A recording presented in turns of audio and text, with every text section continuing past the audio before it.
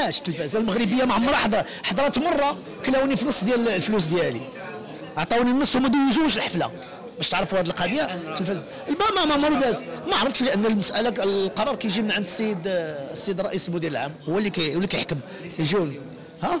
رسالت لهم أنهم ما يجوش لي. أنا سعيد ناصري عندهم مشكل مع سعيد ناصري. ما يشوفوا سعيد ناصري. يشوفوا الفنانين يشوفوا العمل.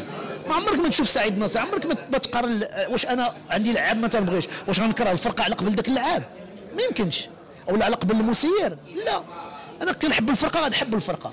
أنا كنحب الفنان خصني نحب الفنان. أنا كنخدموا الفن المغربي الآن. ماشي آه، حسابات ما بين فلان وفلان ولا قلتي ولا عاودتي قلتي ولا انت هضرتي. لا لا بالعكس الفنانين كلهم فرحانين لبعضياتهم وانت كتسمع ملي كتقول لهم مثلا أن هذا الفنان غادي نكرمو تيقول الله يا ودي الفنان تيبغي الفنان. الفنان تيبغي بعضياته والدليل على ذلك أنهم كيجيو كيساهموا تيغنيو تيفرحوا وكل شيء كيفرح لهم بالعكس بالعكس